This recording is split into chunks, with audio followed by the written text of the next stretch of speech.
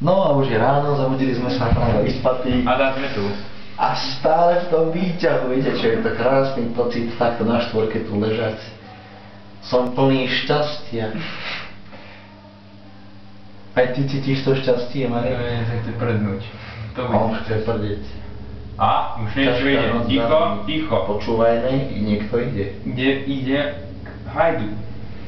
Malá hajdu nás ide otvoriť. Moment. Malá idú.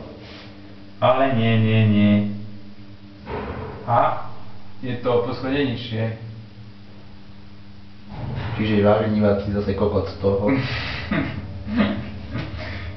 Krásna reality show, krásna, krásna.